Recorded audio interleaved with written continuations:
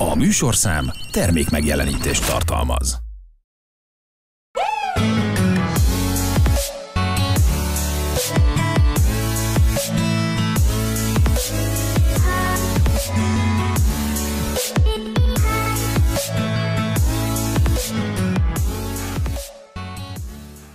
Szeretettel köszöntöm Önöket, a nálatok mizut látják. Nézőink már megszoktathatták, hogy időről időre kollégáinkat bemutatjuk itt a műsorban, és szerintem adós vagyok még azzal, hogy van egy olyan felületünk, ahonnan még nem hívtam vendégeket ebbe a műsorba, úgyhogy most nagyon örülök, hogy két FMC-s kollégámat bemutathatom a mai napon. Ismerjék meg velünk uh, Pab Brigittát, aki szerkesztő, újságíró, majd elmondott, hogy milyen titulusod van. Szia, mindenkit én is köszöntök. És itt van velünk Pál Lóri is, remélem nem baj, hogy így hívlak. Nem, Most nem, ez egy ilyen műsor, persze. hogy itt így, így is lehet hívni Ja, és titeket. Én is köszöntöm a nézőket. Köszönöm, hogy itt vagytok. Na, tisztázzuk akkor, hogy ki mi. Minek mondhatjuk azt, amivel ti Egyöntetően online szerkesztő online ketten, így van. így, most már így hívjuk őket, igen. Mert hogy nálunk a, a médiacentrumban ugye ez úgy fejlődött ki ez a felület évekkel ezelőtt, ami most már szerintem tök jól működik. Úgyhogy én arra kérnélek titeket, hogy az elején egy kicsit meséljünk erről, hogy hogyan alakult egyébként az FMC, Picit a, nem feltétlen a komolyabb verziódra lennék kíváncsi, hanem az, hogy ti hogy éltétek meg, hogyan csöppentetek bele magába az FMC-be, és aztán minden másról is fogunk beszélgetni. Kicsit mondjuk el a nézőknek, hogy mi az, amit láthatnak ezen a felületen, mit kapnak. Uh-huh. Hát tulajdonképpen az fmc.hu-ról beszélünk, ami alapvetően a Médiacentrum magazinos oldala. Én azt hiszem, hogy még talán mondhatjuk rá, bár mostan, mostanság már inkább elmentünk egy kicsit a, a hírműfaj irányába, de tulajdonképpen alapvetően a mi célkitűzésünk az volt, illetve akik indították, mert mi időközben kapcsolódtunk be Lórival mind a ketten, hogy egy olyan felületet adjon a városnak, ahol egy kicsit másképpen, másképpen dolgozunk fel témákat, híreket, személyesebben, értelem szerint tegeződő formában, Mm, nagy interjúk, akik mesélnek magukról, életükről, azok, akik itt élnek Fehérváron. Tehát ez volt az alapvető irány. Most egy kicsit talán több már a hír, kevesebb, kevesebb a magazinos anyag, kevesebb sajnos az, ami, ami úgy nagyobb terjedelmű téma, de azért igyekszünk. Ugye én azt gondolom. Abszolút, abszolút. Egy picit, picit máshogy próbáljuk tényleg, hogy a Brigi is mondta, hogy jobb, hogy érdekesebben átadni bizonyos témákat az embereknek videós formában. Arra próbáltunk egy időben nagyon ráállni. Voltak vízeink is például, azokat nagyon szerették az emberek, és akkor, akkor ezt próbáljuk majd folytatni, csak hát az még idő kell egy picit szerintem. Uh-huh. Így van, most, most tulajdonképpen, ha úgy veszük, vonalat. vonalat. Ke- kettő és felen képviseljük most ezt a felületet, tehát maga, maga ez a létszám sem ö, tudja azt megadni, hogy, hogy mélyebben dolgozzunk témákkal, esetleg hí, hír háttérrel, így, így most azt, azt adjuk, ami a csövön kifér Ami van, ennyibe. igen, ami jöhet, ami jön. Ugye akkor azt mondjuk el a nézőknek, hogy nálatok ugye nagyon fontos a kattintás szám. Tehát, hogy azért az, az egy, nektek egy kézzelfogható visszajelzés arról, hogy mennyire sikeres a munkátok. Így van. Tehát azonnali visszacsatolás igazából, hogy, hogy, hogy, hogy milyen sikeres lett egy cikk, vagy hogy működik, hát egyből látjuk, hogy mit szeretnek ugye az emberek, és hogy mit nem. Uh-huh. És akkor nyilván, amit szeretnek, arra jobban majd rá, ráfekszünk, vagy rá tudunk feküdni. Jön van ez a kis csoda a Google Analytics, amit Igen. ugye, hogyha éppen napi szerkesztő vagy, ami nálunk azt jelenti, hogy, hogy aznap te felügyeled a, az oldalt, hogy mi megy ki, átnézed azokat a cikkeket, te szerkeszted meg a frissen be, bejövő híreket, és akkor, amikor elindítasz egy cikket, akkor azonnal átkattintasz, és akkor onnan látod, hogy nagyjából mennyire érdekli az embereket. Van, ami szágult, van, ami meg, megáll, és azt mondja, hogy stop. Tehát, hogy, hogy, hogy igen, azonnal mérhető a munkák sikeressége, ami néha egyébként kicsit vissza is üt, mert, mert úgy nagyjából ennyi idő alatt, hat éve? Szerintem kb. Szerintem egyszerre hat. kezdtünk, hat vagy Igen, hét éve igen, igen, csináljuk, igen. pontosan nem tudom. Ugye akkor már az ember rááll arra, hogy tudja, hogy nagyjából mi az, ami, ami érdekelni fogja az olvasót, milyen címet kell neki ahhoz adni, hogy érdekelje, és, és akkor néha fájdalmas az, hogy mondjuk van egy téma, amit te, te, neked szívügyed, kibontanál, dolgoznál vele, de tudod, hogy belefektetsz x órát, akár x napot is, ilyen interjút csinálsz hozzá, olyan interjút csi- csinálsz hozzá, majd aztán beáll a földbe, mint a gerej, illetve van a másik pont, ma beszélgettünk Lórival, hogy van, amit 15 perc alatt összeraksz, neki egy jó címet, és tudod, hogy ez, ez egy embereket érdeklő téma, mert, mert tényleg olyan dolgot fog meg, ami, ami közérdeklődésre tart számot, és aztán 15 perc munkával sokkal-sokkal-sokkal többet érsz el, mint egyébként adott esetben két napival. Igen, és ez sok, néha fáj. Sokszor tényleg ez van, hogy egy jó cím, egy jó kép, és akkor, akkor tényleg hasít. De nekem is előfordult, hogy én is csináltam hosszabb interjúkat esetleg, vagy egy interjút, vagy videós anyagot, és akkor ott még a cím is jó volt, viszont valamiért nem érdekelt az embereket, és akkor olyankor elszontyolodik az Igen. ember. Meg hát ugye ma, manapság azt mondják, hogy, hogy ami hosszabb, az már nem, arra már nem veszi az ember a fáradtságot. Ugye legtöbben a telefonon nézegetik a cikkeket, uh-huh. gondolom ebben egyetértünk, van, és hát van. ugye, hogyha már lefele kell sokat lapozni, akkor egy idő után unalmassá válik. A témát azt vettük észre, hogyha, hogyha nagyon jó a téma, ha azt úgy tudtad megírni, hogy az fenntartsa az érdeklődést, akkor végigolvassák a hosszabb cikkeket is az emberek. Tehát a, a, erre is azt lehet mondani, hogyha tartalmas, jó érdeklődésre számot tartó anyagot sikerül az embernek olyan formában összerakni, hogy az végig fenntartsa az érdeklődést, akkor végigolvassák. Uh-huh. Igen, Ritka. és ez a, ez a felépítésnek a kérdés, mert nyilván akkor se lehet ilyen több tízezer karakter. Nyilván. mert akkor egy után az érdekest is megunják, és ezért is szoktuk, szoktuk beszélgetni is, hogy ezért tagoljuk a cikkeket is, hogy, hogy ne tömbösítve legyenek, hogy sok-sok nagy tömb, és akkor kezdjenek valamit akarnak, hanem kisebb tömbök, és akkor ott, hogy azzal így, így hogy is szoktuk mondani? Jobban visszük, átlátható, igen, nem? Igen, igen, a szemet jobban vezeti. Igen, igen, jobban vezetjük, igen, jobban vezetjük a, az olvasókat. Uh-huh. És ugye kaptok azért hozzászólásokat is sokszor, Hát igen. Ez, ezek, mondjuk ezek elég kétélű fegyver. Igen, igen, azért az emberek szeret, szeretik, tehát hogy azt, azt azért észre lehet venni, ami, ami úgy általában észrevehető úgy általánosságban is, hogy az emberek szeretik levezetni a feszültségüket, és, és annál jobb feszültséglevezetés nincs, mint a másik hibájára, a másik gyengeségére felhívni a figyelmet, és egy jó nagyot rúgni bele. Most nyilván nem vagyunk mi sem tévedhetetlenek, sajnos, vagy ha nem sajnos, tökéletesek sem, nyilván aki dolgozik, az véd hibát, imádják. Tehát, hogy, hogy az, hogy, hogy, hogy ha tudunk hibát véteni, az, az, az a, akkor, akkor van a legtöbb hozzászólás. Egyből ugranak. Egyből, ha hiba. Egy betűelütés, igen, igen, a címbe igen, egy apró... Mindegy, bár, mi, egy kicsi hiba van, az... Milyen az... emberek dolgoznak így, igen. nem olvassák el a cikket folyamatosan. Nekem vannak rossz élményeim ezzel igen, kapcsolatban, ez, de akkor majd mesélek. Mond, mond csak most. Ö, hát igazából volt egy cikk, ami csak egy ilyen, nem is véleménycikk volt, hanem csak egy felvetés volt, még a Covid után Covid közben, Covid vége fele, amikor a nagy szezonja volt, ugye? És akkor írtam egy olyan cikket, hogy milyen, milyen intézkedések, vagy nem is intézkedések, hogy maszk használat, hogy ilyenek mik, mik maradhatnak meg úgymond az emberek köztudatában. Hogy lehet, hogy utána óvatosabban ö, foglalkoznak ezzel, ezekkel az emberek, hogy maszkot hordanak, ha nincs járvány akkor is, és akkor ott olyan, ilyen, nem is tudom, milyen tálatszunamit kaptam, hogy ott elküldtek engem minden fele. Hogy nem, hogy örülnél, hogy levehetjük a maszkot? Valami, vagy? valami ilyesmi volt, hogy, hogy, hogy a régebbi cikkeimet jobban szerették, most már izé annyira nem szeretnek olvasni, meg valami baj van a fejemmel, menjek pszichológushoz, hmm. ilyen, ilyen De viszont az, az, amit az előbb mondtál, az meg azt jelenti, hogy olvassák a cikkeidet, és akkor ennek, ezek szerint név szerint is ismernek, nem csak az van, igen. hogy mert lehet az is, hogy ugye arra keresnek rá, na hát a Pabrigi már megint írt egy cikket, akkor lehet, hogy azért vagyok rá kíváncsi, nem? Lehet. Van ilyen, és szokták, szokták jelezni, hogy hú, hát olvastam a cikkedet, hú, de jó volt, mert de, de igen, egyébként ez, ez, ez, amit a Lóri mond, ez abszolút nyomon követhető, hogy, hogy sokkal jobban szeretnek gyalászkodni. Engem az ott nagyon kikészített, arra mhm. emlékszek. Az hát egy darabig fáj, én most, már, én most már úgy vagyok vele, hogy, hogy, hogy amikor látom, hogy esetleg valamilyen van, nyilván, hogyha hibát jeleznek az olvasók, akkor azt szoktuk jelezni, hogy nagyon szépen köszönjük a, a visszajelzést, javítottuk, stb de aztán én elengedem, mert, mert hogyha az ember sokáig rágódik rajta, az azért úgy utána a következő munkájára, tehát úgy rányomja a bélyeget, és akkor én, egy, én, én egyszer írtam egy ilyen cikket, hogy, hogy, hogy ugye nem mindenki tévedhetetlen, és akkor akkor is azonnal meg, hogy mutatjuk magunkat meg, de, de nem mosdatjuk, csak egyszerűen tényleg van az embernek rossz napja, rosszul aludt, nem annyira figyel, tényleg átfut a szeme apróságokon, és igen, vétünk hibákat, és iszonyatos mit kapunk érte.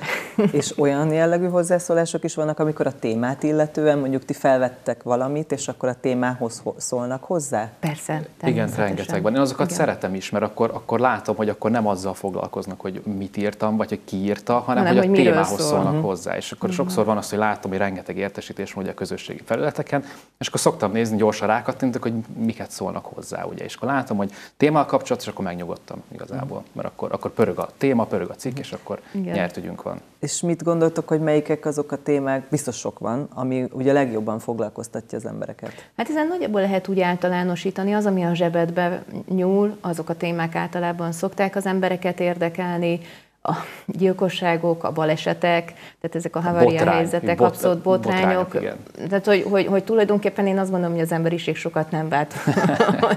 tehát, hogy az alapvető szükségleteink, amik a mi mindennapjainkat meghatározzák, azok mindig érdeklik az embereket. Tehát tényleg úgy, úgy lehet kiindulni, én általában úgy szoktam feltenni magamnak a kérdést, hogyha mondjuk kitalálok egy témát, hogy, hogy oké, okay, engem érdekel-e? És hogyha, hogy, hogy rákattintanék el, hogyha mondjuk ez a cikk, vagy ez a téma, vagy ez a cím jönne velem szembe. És ha mondjuk azt mondom, hogy igen, akkor, akkor érdemes nekiállni, de hogyha nem, akkor, akkor maximum akkor, hogyha nekem éppen szívügyem, vagy kötelező megint, vagy, vagy bármi mögöttes tartalom van. De hogy tulajdonképpen ami pénz, mindennapi élet. Hát, ami hatása van az ami hatása van az életedre. És Fehérvár rá. Vagy lehet mond, rajta egy kicsit szörnyűködni, hogy fú, basszus, de jó, hogy nem velem történt meg, fú, milyen jó, hogy ezt, ezt mit a szomszéd Pisti bácsinak a háza éget le, uh-huh. ő karambolózott, tehát hogy, hogy, hogy e- ezek, ezek érdeklik uh-huh. általában az embereket. Hogy találjátok meg a témákat? Mert hogy akkor ez azt jelenti, és azt feltételezi, hogy nagyon sokat olvassátok a többi portált is esetleg, és keressétek a híreket, vagy esetleg van. van olyan, hogy megtalálnak titeket, hogy foglalkozzatok egyes témákkal? Ilyen is szokott lenni, valamikor üzenetet írnak, nekem is írtak privátba is üzenetet, de van, hogy az FMC-nek is írtak külön üzeneteket, de hogy vannak, vannak különböző oldalak, amiket így mindig pörgetni szoktunk folyamatosan, főleg amikor a valamelyikünk napi szerkesztő. Nyilván, akkor... Hát a napi szerkesztő az folyamatosan mindent, mindent monitoroz, de tényleg tehát az összes, összes elérhető hírportától, közösségi felületeken át mindent, és akkor nyilván vannak a, a megkeresések, van, amiben te, te botlasz bele, hú, itt elkezdődött egy építkezés, jaj, mi lesz, vagy, vagy, vagy látod, hogy érdekli az embereket, hogy mi épül itt, milyen új üzlethez, mikor zár be. Tehát, hogy, hogy többfajta a felületről érkezik a téma, illetve saját magadtól találsz ki, igen, hogyha jó igen, napod igen. van.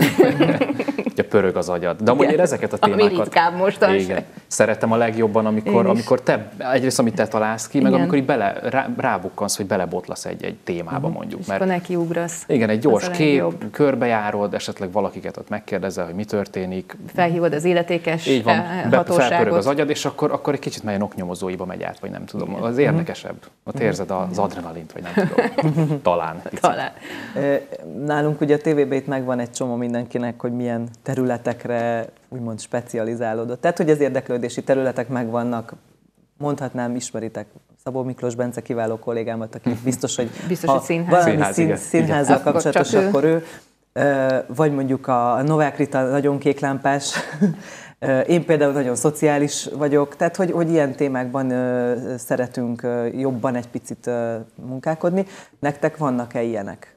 ami a ti szívügyetek? Mi ennyire nem határol, hogy határoztuk meg magunk között, de azért nyilván mindenkinek van liblinge, nekem a környezetvédelem az abszolút, tehát hogyha harcolni kell az állatokért, akkor szintén nekem ezek a kedvenc témáim, hogyha ilyen van, akkor tuti, hogy rá, ráfekszem, vagy valahol mondjuk a patakba beleöntötték az ilyen-olyan ki tudja mit, e, ezek azonnal. Trutyit. Hát, igen, igen én, én, én minden, ami környezetvédelem, minden, ami állatvédelem, azonnal megyek rá. Uh-huh. Hát nekem ez érdekesen alakult ki, vagyis nem annyira, mert hogy amikor ide kerültem, már akkor is nagyon szerettem a filmeket, sorozatokat videójátékokat is, és akkor valami olyan állandó rovatot próbáltam kitalálni rögtön az elén, amit hogy én tudok esetleg vinni. És akkor onnan megmaradt csak a filmkritika. Erre emlékszem. Film vagy sorozatkritika, de volt videójáték teszt is, uh-huh. csak az annyira nem érdekelte az embereket, és akkor ezt így elengedtük. Uh-huh. És akkor ez áll hozzám a legközelebb, meg hát a fiatalosabb témákat. Eleinte főleg az ilyen hát a fehérvári bulis életet próbáltam egy kicsit megragadni, hogy hol lehet bulizni, milyen lehetőségek vannak és akkor az, az, tehát kimerítettünk szerintem mindent, és akkor utána jöttek a kvízek, Igen, én lettem a kvízmester, aztán, aztán, aztán most hát maradt a kritika, igen. Nekem a másik terület, ami el tud varázsolni, bár ezt azt mondják, hogy rettetesen pervers dolog, hogyha valami számokkal kell, én nagyon szeretem Jaj, a statisztikai tényleg. dolgokat, pénzügy, gazdaság, tehát egy imádom, amikor, amikor el kell kezdeni számolni, hány százalékkal csökkenő, de ez a mhm. másik terület, amit, hogyha olyanba buk, akkor azonnal neki És akkor nem is lehet hozzászólni sem. Én ezt nem gondoltam, hogy ez kedvenc egyébként, én azt gondoltam, hogy ez belőled valahogy úgy jön, mert hogy Azért a nézőknek elmondjuk, hogy mi most már egy szerkesztőségen belül dolgozunk, és hát a korábbiakban nem olyan nagyon voltunk összezárva, nem annyira láttunk bele a ti munkátokba, de most már egyébként mi is belecsöppenünk, alkalomattán mondjuk akár én is írok hozzátok, bár még nagyon rutintalanul, de igyekszünk, nem, meg a többiek is próbálják, és, és hogy ezért belelátunk most már kicsit jobban így a, a szerkesztőségen belül a, a ti napjaitokba, és azt látom, hogy a Brigi minden nap a statisztikákkal Igen. van elfoglalva. És tényleg a és, és mindig mondja, és azt tudtátok, hogy, és akkor mondja. Igen, és csökkent a munkanélkül is. Mara valami ilyennel fárasztottam le az egész szerkesztőséget. Nem tudom, engem érdekelnek, de az alapvető végzet, tehát hogy alapvetően nekem gazdász a végzettségem, tehát hogy, hogy, hogy úgy mindig jóba voltam a számokkal, mindig érdekeltek a számok, aztán tök véletlenül mégis más irányba indultam, kiderült, hogy írni is szeretek, és akkor, de azért úgy a kettő úgy, úgy időnként uh-huh. összejön, és azt szeretem nagyon. Én azt hittem egyébként, hogy ez valami kötelező muszáj dolog, nem, de akkor ezek ez... szerint te mondjuk ezzel el vagy foglalva, te pedig akkor annyira nem Én figyeled nem. ezeket? Nem, nem, nem, nem. Hát a Brigitől a Brigi erre ott van. Én felhívom rá Mondja, ha kell, ha nem, úgyhogy én is képben vagyok. Kicsit beszéljünk arról még így a munkátok során, hogy, hogy nálatok, Mizu, ha már itt, itt vagytok ebben a műsorban, hogy mit gondoltok, hogy most ti mennyire vagytok a helyeteken, mennyire érzitek jól magatokat így ebben a felállásban, mert ez mindig változik nálunk valamilyen szinten a médiacentrum felállása. Itt-ott ott a felületek szoktak azért változni, de a tartalom az persze mindig megmarad színvonalasnak. Így van. Hát nem tudom, mennyire lehet őszintének lenni. Lehet. De amúgy, amúgy teljesen jó. Teljesen jó Nem, igen, az az érdekes, hogy mi sokáig sokat dolgoztunk home office-ban, és most, most már sokat vagyunk bent. Én elég magamnak való vagyok alapvetően, tehát hogy nem, nem vagyok egy erősen szociális lény, ezt most már ennyi idősen így be is vállalja az ember, és én azt gondoltam, hogy nekem bazi nehéz lesz bejönnöm így a közösségbe újra, itt lenni, és aztán rájöttem, hogy tulajdonképpen mégiscsak bírom az embereket valahol, tehát hogy így, így tök jól el vagyok. Saját magamat is megleptem ezzel, jól érzem magam. Én most, most sokkal jobb, vagy kicsit jobb, jobb mint, mint mondjuk ha fél évvel ezelőtt a ugye az élete, közösségi életem. Úgy érzem most, hogy egy kicsit így jobban a helyén vagyok érdekes. Nem, nem tudom, tehát hogy nem vagyok mai csirke 43 évesen, és úgy tűnik, hogy még mindig tudok magamnak meglepetéseket okozni. Egy szóval... vagyunk, úgyhogy ilyet nem mondj, hogy nem vagyunk. Maiak vagyunk azért még. Igen, még azért van itt. Igen, jó, jól érzem magam. Tehát tényleg, de őszintén meglepett ez engem. Én azt gondoltam, hogy nekem oda be kell ülnöm, és akkor mindig beszélnek majd körülöttem, mindig lesz ember körülöttem, és úristen, hát előtte fog... is beszéltem folyamatosan hozzá. Igen, és akkor mindig rá is szóltam szegény Núri, hogy fog... Voltak ilyenek, igen. igen. Nem, nem bírom, ne gyűsz még ilyen már itt körülöttem. igen, tényleg az. És most meg úgy most meg ugye el vagyok vele, sőt, így elröhögcsélek, még beszélek is egy csomót szerintem. Halljuk a hangod legalább. Igen. Úgyhogy, úgyhogy rám szerintem abszolút jó hatással van, mielőtt végleg bezárkóztam volna a remetelétbe, úgy tűnik, hogy most kinyíltam egy kicsit.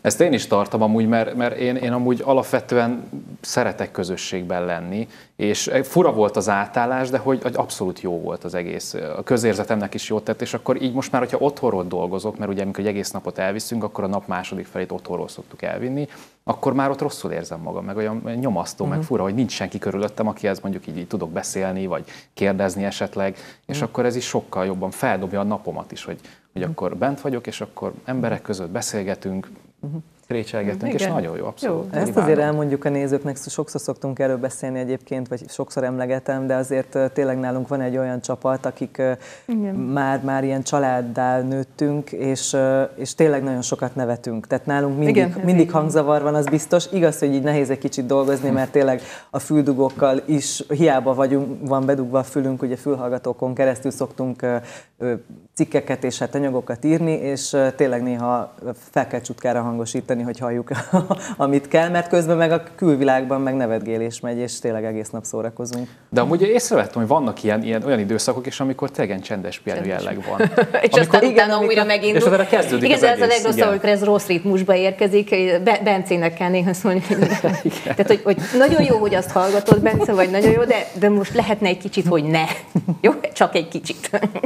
Hát valamelyik reggel volt egy kis buli, igen. Igen, igen, igen, de jó, jó, mert tényleg alapvetően kimozdítja az embert ezekből a megyünk előre. Ugye nálunk, tehát hogy arról még úgy nem beszéltünk a munkánknál, hogy, hogy amikor mondjuk a, mi vagyunk a napi szerkesztők, akkor, akkor körülbelül olyan reggel hétkor 7 óra tájt indul, kicsit néha előbb, kicsit néha később, mondjuk fél nyolc legkésőbb, de inkább 7 óra körül indul a nap, és, és olyan este tízig kell nekünk folyamatosan figyelni, hogyha bármi történik, tehát hogy, hogy, hogy este fél hét, hét az, amikor, amikor, amikor abszolút aktív az ember, addig, addig dolgozik, és akkor 7 órától az a 10 óráig az már inkább olyan, olyan odafigyelős, csak oda rá ha történik valami, esetleg jön egy kormányinfo váratlanul, mert ugye volt a, a covidos időszakban, amikor a legváratlanabb pillanatokban történt az, hogy azonnal rá kellett vetődni a gépre. 11 éjfél táj, éjszaka is Igen, volt akkor volt, volt mo- most már azért olyan tí, este tízkor le tudod zárni a napot. Uh-huh.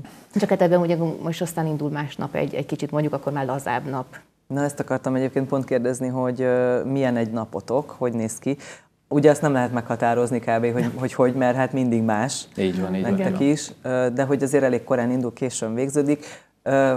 Családmunka, illetve család mellett és, és mondjuk pár mellett ezt hogy lehet csinálni? Hogy hogy fér bele, hogy tudják tolerálni a, a külvilághoz? Hát igazából én olyankor, amikor például napi szerkesztő vagyok, akkor az az első nyilván. Akkor kizárok mindent, és akkor úgy csinálom a dolgaimat, ahogy, ahogy, ahogy tényleg nekem kell, és ahogy az anyagok megkívánják, és a, hát a, né, vagy a nézők, olvasók is megkívánják. Igen.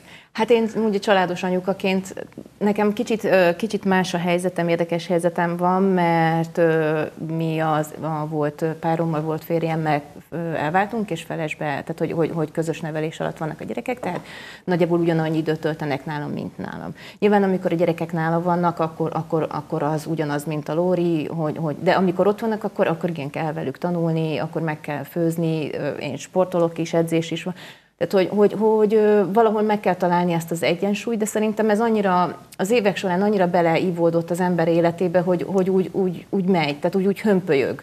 Nincs az, hogy, hogy mondjuk mindig csak ott, tudod, hogy mondjuk most kitettél, tudom én teszem azt est, délután három órakor most kiment egy cikk, nagyjából tudod, hogy, hogy most a következő fél óra eset, adott esetben egy óra egy kicsit lájtosabb lesz, akkor gyorsan elfutsz bevásárolni, megtanulsz, és a többi, és a többi, és akkor nyilván félszemmel rajta vagy a telefonon, mert sose tudod elengedni, és akkor utána folyik tovább. És akkor másik napon is. Tehát, hogy, hogy valahol, valahol nem lehet élesen elválasztani azt, hogy te dolgozol, vagy nem dolgozol, mert hogy mindig dolgozol, és mindig, mindig van mellette valami más is. Mert például, ha nem vagy napi szerkesztő, már annyira, annyira beleívódott az ember életébe ez az online világ, hogy, hogy akkor is figyeljük a másikat, vagy, vagy akkor is az van, hogy mondjuk megy ki, írok gyorsan egy nagyobb cikket, hullóri gyorsan nézzél rá, fúsd át, mert annyira hosszú szöveg volt, hogy már a végére összeakadtak a szemeim, tuti biztos, hogy van benne hiba, légy szív, elütés, akármi fúsdát. És ez mindegy, hogy hét, van, ahogy hétvége, van, hogy Persze. este 8-9, tehát nem, nem feltétlenül kell ahhoz napi szerkesztőnek lenned, hogy, hogy akkor, is, akkor is ott legyél néha a gép előtt. Nem mindig, van, amikor sokat, van, amikor meg sokkal kevesebbet. Uh-huh. Ez így teljesen kiszámítható, viszont ebbe úgy beleépült a család. A, a, ne, nem tudom, tehát hogy olyan, ugye egybe van az egész, és úgy megy. Uh-huh. Meg az agyunk is rá kellett erre állja, legalábbis nekem ezzel problémáim voltak eleinte, mert főleg amikor napi szerkesztő voltam, nagyon stresszes voltam. Egyszerűen nem tudtam kezelni ezt a nyomást, hogy akkor most két óra múlva vagy egy óra múlva újabb cikk, mit írjak, mit csináljak, hogy legyen, úristen, mi fog történni. És vagy ha jön halmozottan, vagy egyszerre három-négy, amit azonnal meg kell csinálni, meg kell írni. hogy osszam le, vagy hogy nem, és ez, ez idővel, ez, ez most teljesen, ez ilyen természetes lett uh-huh. most már, úgyhogy már nem, nem stresszelek emiatt. Sokszor említitek ezt a napi szerkesztést, ugye egy kicsit a nézőknek meséljük el, hogy ez egészen pontosan mit akar, mert ugye nálunk a tévében is az van, hogy van egy napi szerkesztő, aki a stábokat irányítja, aki ellenőrzi ugye a bejött munkákat, stb aki összeállítja akár a híradókra az adásmeneteket, és levezényli az egész napot tulajdonképpen. Gondolom hasonló ez nálatok is, hogy hogy képzeljék el azt a nézők, ugye, hogyha ti ketten, hárman vagytok, akkor egyik őtök a napi felelős, és akkor leosztja a többiek között, hogy mit kéne, vagy vagy mindenéről felel, és hát akkor a többi... Több... Ez ilyen flow-szerű, ez, ahogy szoktam mondani, hogy igazából mindenki tudja, hogy mit kell csinálni, mindenki tudja, hogy, hogy hol a helye igazából. Tényleg, hogy Rövidesen hangzik, de így van. Hogy, hogy nincs megállás, hanem akkor mondjuk a Brigia napi szerkesztő, akkor reggel én is ugyanúgy keresem a híreket neki, valamit találok, akkor mondom, jó, akkor ezt gyors megírom, és kész, már adom is tovább neki. Uh-huh. És az ugyanúgy fordítva is, ugyanígy, ugyanígy. ugyanígy. ugyanígy. De hogy, de hogy tulajdonképpen igen, amikor napi szerkesztő vagy, akkor te felelsz azért, hogy, hogy mi megy ki, te tervezed meg azt a napot, a, a gyorsan belső dolgok, nyilván, hogyha mondjuk halmozottan érkezik valami, mondjuk kettő-három dolog egyszerre, akkor, akkor szoktunk szólni, hogy, hogy hú, Lóri, segíts be, Gábor, segíts be, gyorsan érjük be. De, de, de alapvetően te magad írsz meg mindent. Uh-huh. Jelentős részben azt mondom, hogy 90-95 százalékban, jó, legyen 80-85, uh-huh és, akkor, és, és te figyelsz, és akkor utána másnap, másik nap meg a másik. De és abszolút segítjük, segítjük amúgy egymás Mhm, mindig. munkáját. Hát ez is egy másik csapatmunka. Ah, Keze alá dolgozunk, és akkor ez, ez is Igen. ilyen természetes lett amúgy az évek során. És mennyi az annyi, aminek ki kell menni mindenképpen? Hát minimum Vannak ilyen feltételek? Igen, igen, igen, igen, igen, igen, a mi- minimum, minimum öt, öt témának mennie kell, és a többi az meg, hogyha meg, hát ennél azért jóval szokott több lenni. Persze. Szerintem a 14 vagy mennyi volt a rekord csúcsidőszakban. volt 13-14 Igen, az már igen. fájt. Tehát, hogy azt már nem lehet épésszel levezényelni egy napot, amikor akkor, akkor még ha besegítenek mondjuk egy három-négy cikket megírni, azt már akkor estére. Nekem volt olyan a Covid időszakban, volt, azt sose felejtem el, tehát volt olyan nap, hogy hogy reggel hétkor leültem a gép elé, akkor a párom is otthon volt, akkor emlékszem, hogy ide raktam mellém az ebédet, megebédeltem, és akkor este tízkor így pff, kifordultam.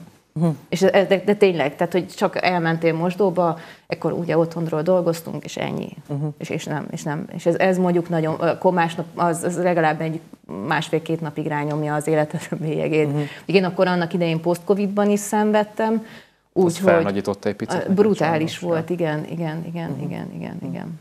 És az időzítés az hogy működik?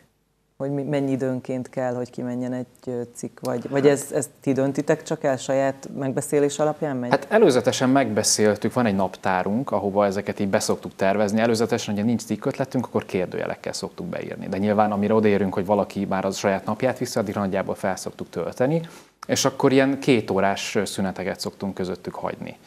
Hogy addig, hogy amit kirakunk egy posztot mondjuk valamelyik közösségi felületre, hogy ott, ott legyen egy lefutási ideje, amikor az emberek olvassák és, és megszeretgetik, vagy, vagy kommenteljék, kommentelik. Vagy éppen megutálják. Vagy megutálják, igen, és akkor utána már jöhet rá úgymond a következő cikk, mert akkor nem zavar be az előző cikkbe. Igen, ha hagy neki időt. Bár mondjuk mostanában már a Facebook annyira összekeverte az algoritmusát, hogy, hogy ez, ez, ez, ez tulajdonképpen azért folyamatosan változik, de nagyjából igen, van egy, van egy 9 és 10 környékén megy ki az első, attól függően, hogy milyen nap van, és akkor a, arra pakoljuk rá, és akkor az utolsó az olyan fél hét-hét környékén.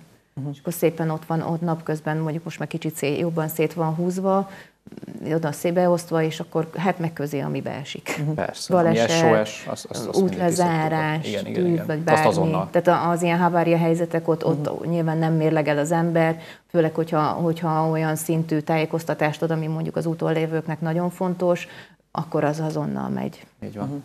Uh-huh. És napi kattintás számot tekintve így lehet mérni, hogy tényleg mondjuk egy nap hányan nézték, Igen. gondolom. Lehet. Ö, Mi volt a legtöbb?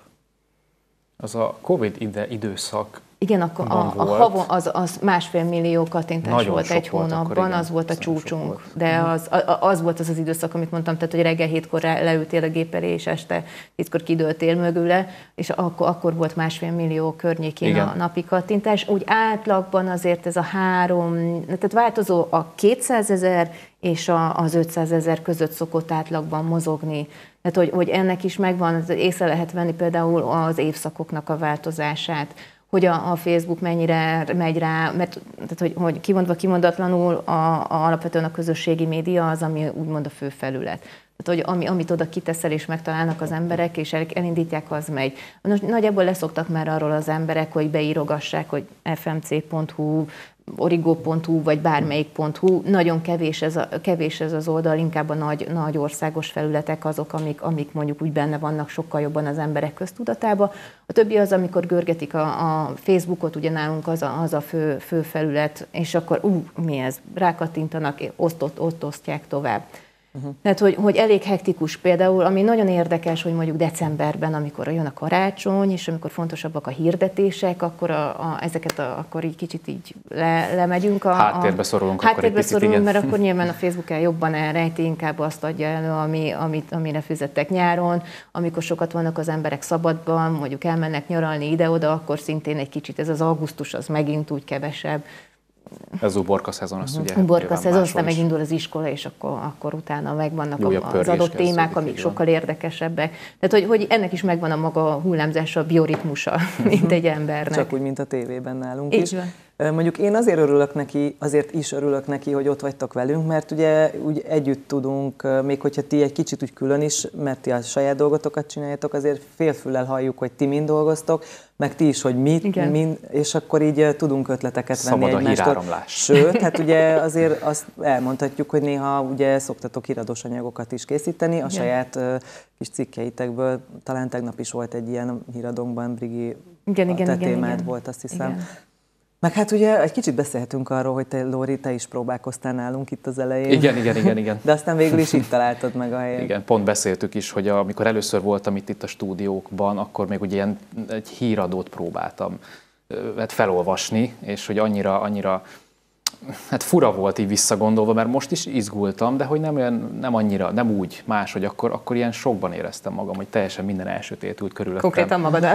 Hát majdnem, hogy csak közel voltam, nem, de hogy is annyira nem, csak hogy, hogy akkor, akkor teljesen, nyilván új volt a közeg, mert én előtte voltam tévés gyakorlatokon is, több helyen is, ugye az iskolámon belül is, de hogy egy már mégiscsak más volt, mert kicsit úgy éreztem, hogy tegélesben megy az egész történet. De aztán, aztán valahogy nem passzoltunk egymással a, így a hír, hír bemondással, mm. és akkor, akkor hát én is felfedeztem magamba, hogy, hogy tudok, vagyis hogy szeretek is írni, és hogy tehetségem is van hozzá, és akkor így kerültem az FMC-hez. Uh-huh. Ó, én minden felületet megjártam már, én mindenfélét kipróbáltam.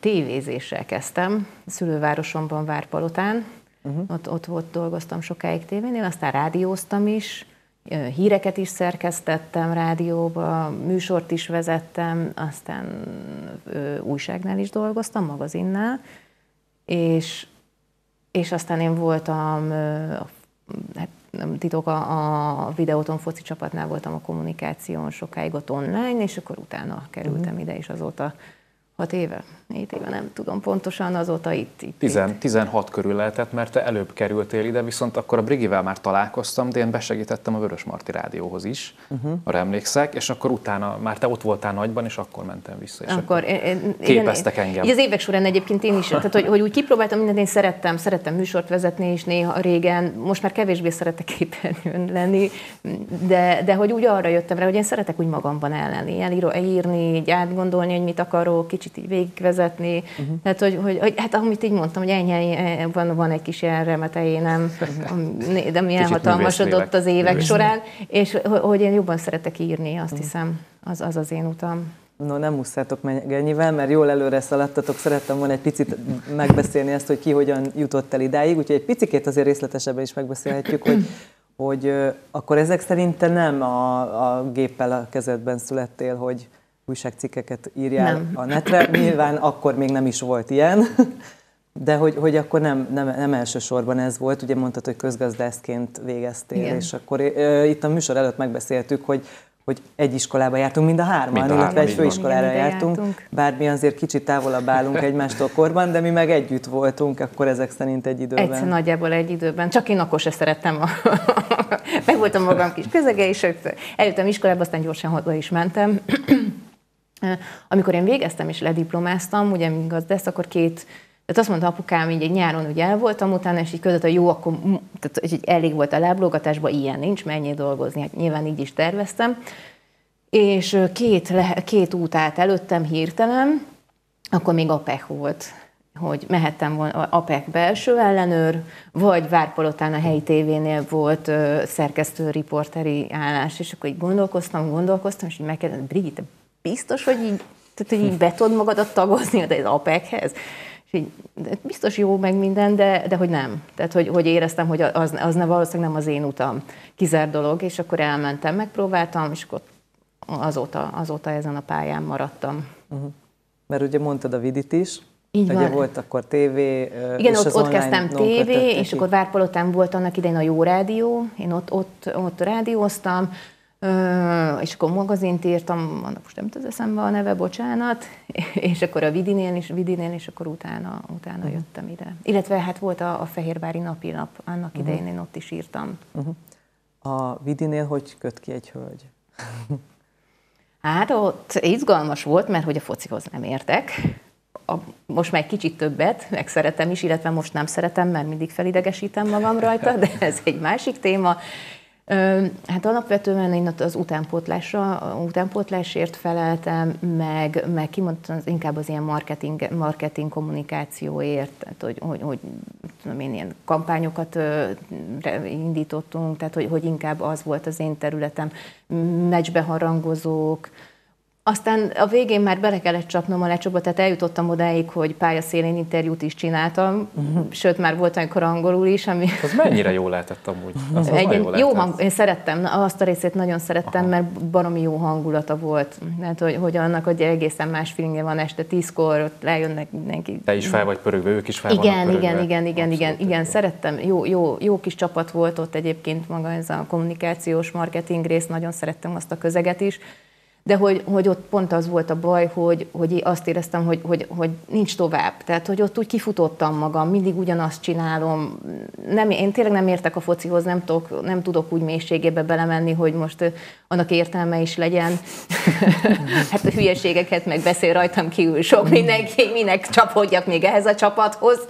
és akkor, és akkor, akkor azért váltottam tulajdonképpen, mert, mert hogy ott már nagyon szűk lett a mozgásterem, és, és nem éreztem már magam komfortos fontos. Mindig azt érzem, hogy ott szürkülök, szürkülök. Tehát persze voltak jó pillanatok, meg mondom, nagyon jó volt a közeg, az, a szívem szakadt meg a, a, a brigádért, de, de tudnom kell, hogy, hogy ott vége. Tehát, hogy nincs tovább szakmailag bennem több ott. Érdekes egyébként, hogy Farkas Szilárd kollégánk is onnan jött. Igen, igen, igen. Tényleg ezt nem is tudtam. Igen. Tessék, igen. új információ. Wow. Sokan kötnek ki itt nálunk, hál' Istennek. Igen. Ö, és te, hát fő, én elképettem, hogy Igen. ismerjük egymást évek óta, Igen. és én nem tudtam, hogy te Svédországban nőttél fel, illetve uh, ott gyerekeskedtél. Ott, igen, igen, igen, igen, ott születtem. Igen, igen, igen, hogy igen. ezt nem tudtam. Abszolút. Tehát ott születtem, és akkor két éves korom körülig ott is éltünk, és akkor utána visszajöttünk uh-huh. Magyarországra. És akkor Lepsénybe, Lepsénybe első körben, és utána jött Fehérvár. Uh-huh. És illetve Sárkeresztes, ahol most is élek. No, és te hogyan jutottál el ideig? Ö, hát én célirányosan kommunikáció szakot szerettem volna, majdnem, hogy csak úgy mondani, hogy mindenképp, mert több iskolában is megjelöltem, hogy biztosra menjek, nem is tudom, 10 vagy 11 egy-kettő szakot jelöltem, hogy tényleg biztosra menjek kommunikáció. Tényleg tutira mentél? Tutira mentem, mert, mert gondolkodtam sokáig, hogy én, hogy én mibe vagyok jó, ugye. Nyilván az angolt azt nagyon szerettem, nemzetközi tanulmányokat is jelöltem pont emiatt, de hogy, de hogy ahhoz értettem mindig is, hogy, hogy, tehát, hogy beszéd, a beszéd volt az erősségem, és gondolom legyen kommunikáció. És akkor így kötöttem ki, hogy a Kodolány János főiskolán, ami most már egyetem, ugye? Igen. És akkor ott ugye, végigzongoráztam, ugye a, a, nem tudom hány fél évet, hat fél év volt talán, és akkor ott szakosodtunk is, és akkor így lettem utána hivatalosan kommunikátor. Uh-huh. Aztán jött a mesterképzés is, ugye, úgyhogy mesterkommunikátor vagyok, csak hogy tudj. Akkor kerültél ide, nem? Előtt. Igen, igen a, a végzős, uh-huh. pont államvizsgáló előtt voltam, vagy szakdogaládás, valahogy így volt. Ott a szakdogámmal egy picit megcsúsztam, mert túl nagy fába vágtam a fejszémet, és akkor így időközben konzulenst is váltottam, de összejött végül. És akkor, akkor már itt ugye elkezdtem közben mesterképzés vége felejt gyakornokoskodni, és akkor lényegében így megtaláltam úgymond az én kis helyemet, uh-huh. amiről mindig is álmodtam, de tényleg amúgy. De jó. Egyébként tényleg sok, tehát ne, nekem ennyi idősen így elképesztő, hogy látok olyan fiatalokat magunk körül, akik, akár csak a Varga Zalent említsem, mm. hogy tényleg egy ilyen pályára készülnek ilyen picikoruk óta, Igen, és hogy, és hogy tök nagy örömet jelent nekik, hogy egy ilyen helyi tévében, egy helyi médiacentrumban megtalálják a, a számításaikat. Én még most is Bár kérdőjeleket előtte még azért. És én még most is simán néha kérdőjeleket felteszek magamnak, hogy hova indulok, merre indulok. Szóval tényleg hihetetlen, hogy, hogy így ennyire fiatalon már ilyen céltudatoság. Ez, ez eszméletlen. És ha már a fiatalságot említettük, ugye meg egy kicsit, akkor most kanyarodjunk vissza a témánkhoz, az online szerkesztéshez, íráshoz, mert hogy ugye most manapság már ebben van a, a jövő. És hát mi szerencsésen itt vagyunk, mint médiacentrum, és megvan a televíziónk is, és minden felületünk megvan, de azért uh, tényleg erre fele hogy most már online szeretné mindenki a híreket megkapni. Erről mit gondoltok, hogy uh, mi már egy picit szépen fogalmazva régebb óta fiatalabb generáció vagyunk, de, de nekünk fiatal. ugye ezt meg kellett, illetve neked is gondolom, hogy folyamatosan bele kellett ebbe tanulni. Vannak, akik meg ebbe születnek szinte most már a mai fiatalok, tehát hogy akik már tényleg kütyűvel a kezükben születnek, és mindenhez is értenek. Mhm. Mit gondoltok erről? Bocsánat, hogy megint így belevágok. Pedig Szerint, már akartam mondani. Igen, én vagyok az öregem, úgyhogy kénytelen vagyok el messzebbről indulni. Szóval szerintem, hogy nagyjából mi még, mi még az, a, az a generáció vagyunk, vagy legalábbis én magamról azt veszem észre, hogy tulajdonképpen annyira nem emlékszem, hogy mikor kezdtem el ezt tanulni. Tehát, hogy, hogy valahol úgy, úgy hozzácsapódott az évek során a készségeimhez, és ne, nekem nem jelent nehézséget, vagy nem érzem azt, hogy most ez egy, ez egy idegen test lenne, amit, amit, meg kell, amit magam meg kell, meg kell sajátítani, meg kell tanulnom, hanem hogy úgy, úgy van az életemben. De, de szerintem biztos, hogy, hogy ha, ha mit tudom én, egy 5-10 évvel idősebb lennék, lehet, lehet hogy akkor, akkor szintén ez a, ez a hú, most akkor hogyan kell, mit kell. De én nem gondolom, hogy, hogy nekünk ez már nehézsége, de javíts ki, hogyha té, vagy... Hát most, hogy gyakorló online újságíróként kérdezel, nekem például még most szokni kell mindent, hogy mi hogy van. Nyilván nem megtanulhatatlan semmi, meg hát nyilván, hogyha valaki újságírásban jártas, és mondjuk mi a nyomtatott sajtóban nem tudom hány éve írunk uh-huh. folyamatosan, akkor az az azért egy nagyobb lendületet tud adni ahhoz, hogy mondjuk egy online cikket is megírjak, de egyébként az meg tök más. Tehát ugye a hangulatát is tekintve, nyelvezetét, stb. Tehát ez tanulni kell. Nyilván nektek meg a véretekben van.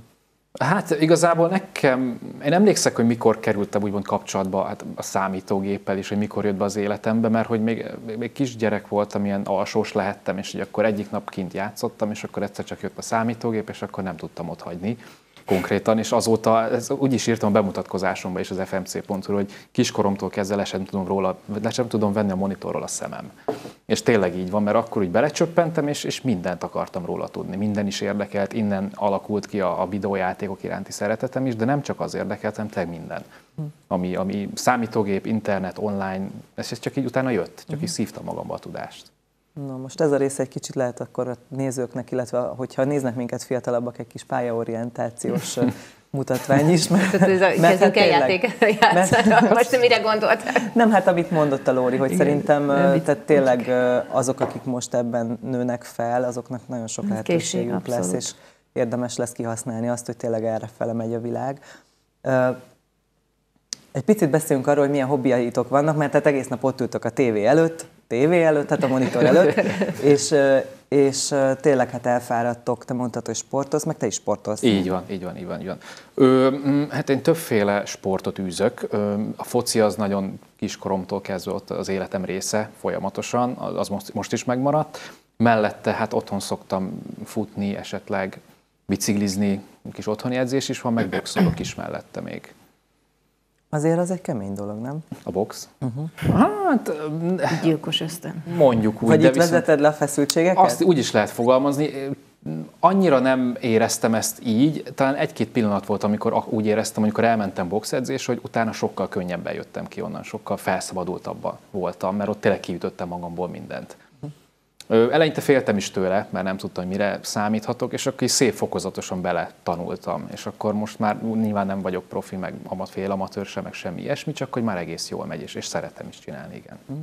És van valami más még ez mellett, ami ilyen... Fú, persze rengeteg, de tényleg amúgy folyamatosan, hát ugye, ugye a monitort otthonról, otthonról se, vagy a munka után se veszem le a szemem, és akkor utána a videójátékok, filmek, sorozatok, ugye ezekben is nagyon benne vagyok Erről szoktunk is beszélgetni, ugye a, a Vörös Marti Rádióban is ugye van a filmkocka, ott, ott szoktuk ezeket mindig az új filmhíreket kivesézni, és ezekben is így otthonosan mozgok, és akkor Szerintem ennyi nagyjából, igen. De ez egész soknak tűnik, nem?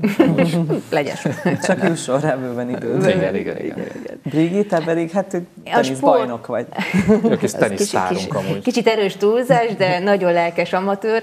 Nem, még kiskorom óta egyébként én is mindig sportoltam. Én 11 vagy 12 évig szertornáztam mert ugye az volt a fő csapás iránya annak idején középiskolába is tesi tagozatra mentem, a Vetési Albert gimnáziumba jártam Veszprémbe, és ott is a torna volt mindenek felett. Aztán utána ez egy kicsit úgy elmaradt az életemből, a sport az annyira nem, hát hogy mindig futottam, zumbára jártam, amikor ez bejött, nagyon lelkes zumbázó voltam, fitnesseztem, tehát hogy, hogy, hogy úgy mindig volt a sport. és aztán jöttek a gyerekek, mondjuk nem hobbi, de tulajdonképpen kiegészítő foglalkozásnak mondhatjuk, vagy állandónak. És négy éve, négy éve igen elkezdtem teniszezni, és hát abszolút átítatja azóta az életemet. Szerencs, szerencsés vagyok, mert úgy tűnik, hogy, hogy, hogy jó affinitásom van hozzá, hogy roham léptekkel haladok előre, most már OB2-ben versenyzem, és már sikerült nyernem is. Én nagy, nagy sikerként könyveltem el most már hát 16-17 éves lányokkal tudásszinten most már felveszem a versenyt, ami ugyan így most elég hülyé hangzik, de tulajdonképpen nagy szó, mert ők gyermekkoruk uh-huh. óta teniszeznek, tehát szintén ez, hogy készségszinten megvannak a mozdulataik, én meg most próbálom készségé varázsolni azt, amit már soha nem fogok tudni, csak próbálom elhinni, hogy igen. Úgyhogy, úgyhogy igen, én napi szinten próbálok teniszezni, aztán valamikor csak heti szinten jön össze, de, de az a fő csapás irány, illetve amikor nem írtam ennyit, akkor nagyon szerettem írni. Írtam novellákat, regényt. Én is olvastam is. az egyik igen, krimi igen, regényét, igen, nagyon igen, jó igen. volt amúgy. De az, az most egy kicsit kikopott az életemből, mert annyit kell írni, hogy, hogy, hogy nem kívánok még írni utána. Uh-huh. Tehát sokkal inkább sportolni, versenyezni, ez, ez sokkal inkább ugye egészen más, ad egy másfajta impulzust. Most van egy csomó fajta gondolat a fejemben, hogy mit szeretnék még megírni, újabb ötletek, regényötletek, de, de valahogy nem visz rá a lélek, hogy megint leüljek és megint írjak. Nem mm. tudom, lehet, hogyha majd egyszer nem a, a napi munkám része lesz az, hogy írok, akkor lehet, hogy majd mást is fogok megint írni. Mm. Pedig az a krimi regény, amit nekem mutatott a Brigi, az nagyon jó volt. Köszönöm, örülök neki. Volt jelent is, meg publikáltak, van a, a Vörös Pöttyös kiadó, ott van a, a, nekik az aranymosás oldaluk, ahol úgymond tehetségekkel foglalkoznak. Én ott bekerültem, bekerültem annak idején, kikerül az ő hát tehát tulajdonképpen minden évben kiírnak egy pályázatot, és, és akkor aki, aki nyer, annak kiadják, és én ott több, több szűrőn átmentem a, a regényemmel, publikálták novellámat is, részt vehettem ilyen belsős tehetséggondozós uh-huh. fejlesztéseken, tehát, hogy, hogy, hogy igen, de, de most nem. Uh-huh. Hát nem véletlen akkor, hogy te írsz az fmc.hu-ra. Itt a műsorunk végén arra kérlek titeket, hogy beszéltünk a műsor előtt arról, hogy egy-két olyan sztorit esetleg elmondanátok-e nekünk, ami... ami... Tégessük be magunkat magyarán. ami, nem, nem feltétlen, csak hogy ami esetleg vicces és megoszthatjuk a nézőkkel, a munkátokról kapcsolatban természetesen. Nekem rögtön egy jutott eszembe, ami sokáig elfelejtettem, lehet az agyam akarta csak elfelejteni, mert ezt tényleg nagyon gáznak tartom, de vicces amúgy, hogy szerintem a leges-legelső interjúmra mentem, ahol egy sráccal hát, interjúztam, és a bemutatkozásnál ugye nem is tudom már milyen Péternek hívták, de Péternek hívták, és hogy bemutatkozott, hogy ő nem tudom, Kovács Péter, én reflexből mondtam ugyanúgy, hogy én meg Pál Péter vagyok. és akkor én lányos gondolkodtam, lányos zavaromba, és gondolkodtam, hogy Jézusom, mit csinálok én? Mit keresek Legszívesebben kifutottam volna akkor onnan a placról. Na de azért az évek meg a rutin azért ezt már leküzdött, hogy ilyenek előforduljanak vele. De még lehet, bármi előfordulhat nálam úgy. Csak nap és ballábbal is kérdése. Pontosan. Ú, nekem tévés, kezdő tévés voltam még Várpalotán, és sportműsort is kellett csinálni, és a hétvégi kézilabda forduló után lementünk interjút készíteni a kézilabda edzővel. Most a Várpolitai sportcsarnokban voltunk bent, ott a kézilabda edzés után a fiúk fociztak, meg nem, itt a pálya szélén feltettem a nagyívű kérdéseimet, és egyszer csak az egyik fiatalember izomból rárúgta a labdát a kapufára, és úgy fejbe talált, de úgy fejbe talált, hogy majdnem kidőltem ott helyben. És egyébként az a dolog pikantériája, hogy, a, hogy aki rúgta a labdát, ő később a sógorom le. Az igen.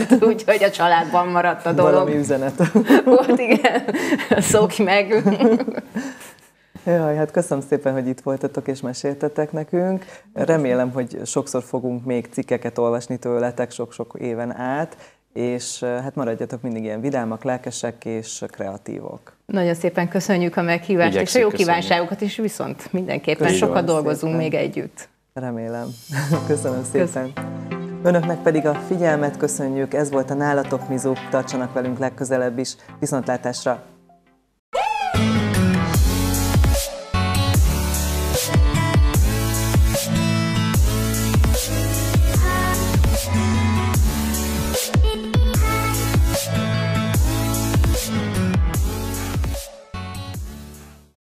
Műsorszám termék megjelenítést tartalmazott.